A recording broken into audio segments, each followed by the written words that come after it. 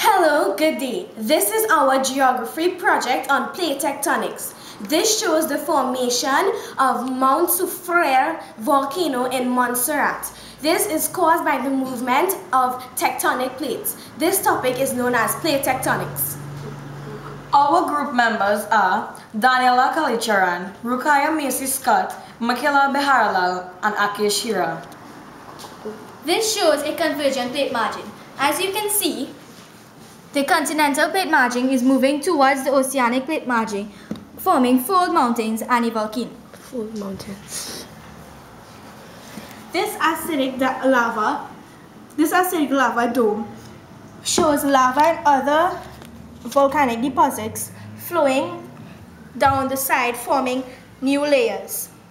Mount Soufriere, being a very active volcano, causes changes in the volcano's appearance.